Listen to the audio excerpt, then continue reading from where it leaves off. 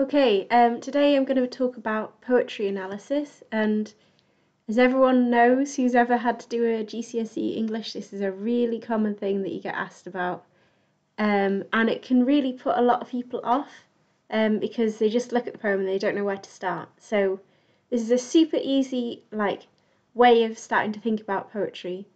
Um, so what should you do? You should read through the text once and pay attention to your feelings especially how the sounds of it um, make you feel and how the images make you feel.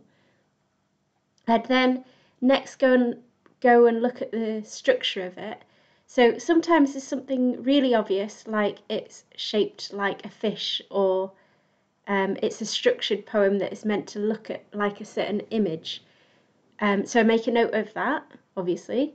Um, but I'd look for how long the verses are, how long the lines are, is it standard all the way through or is it changing form? Like, is it losing structure? That can be quite a common one. Sometimes they lose structure and then they regain the structure as the, th- the poet has worked through their thoughts, perhaps. Um, is the language easy to understand?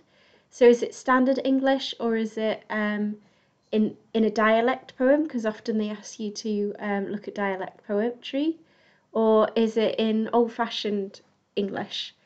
Um, and then, as part of the structure, I would look at the rhymes in the poem.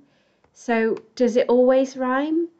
Um, does it um, look like it's rhyming in the middle of the, the lines of poetry?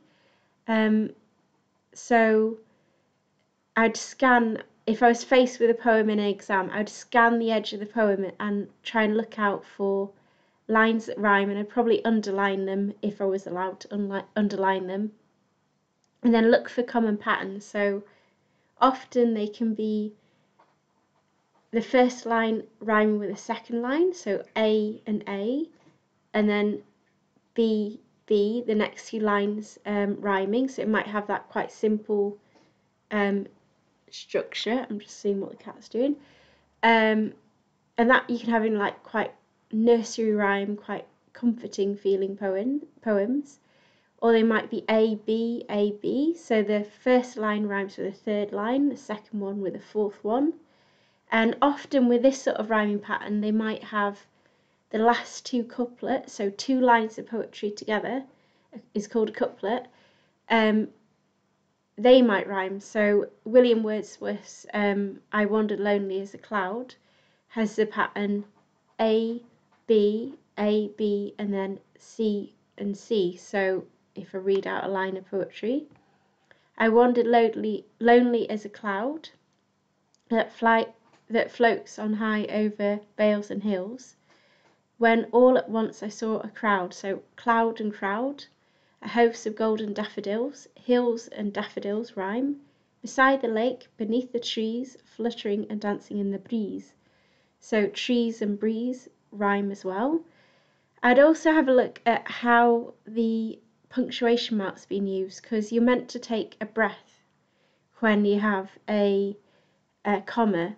So how's that influencing how you're reading it and how you're emphasizing certain words over other ones?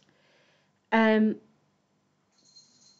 is it consistent in good having good punctuation?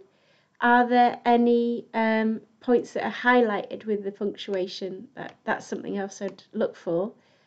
Because um, a lot of poetry analysis is actually based on your own emotions of what you feel with it, and that can be quite tricky when you're already nervous in an exam. So I'd just have a list of questions to go through to try and work things out and stop yourself panicking. There we go. Hopefully that's helped.